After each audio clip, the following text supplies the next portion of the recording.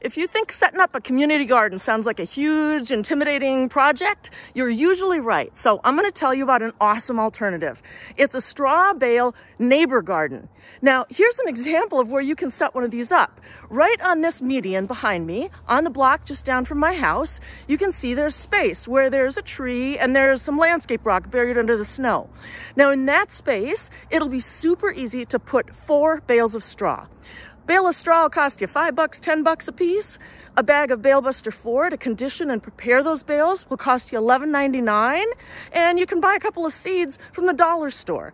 And for that, tiny investment, you can actually grow an awesome neighbor garden and have a humongous number of cucumbers and tomatoes and potatoes and basil and all kinds of other vegetables growing for neighbors to share, to chat about, and to enjoy all summer.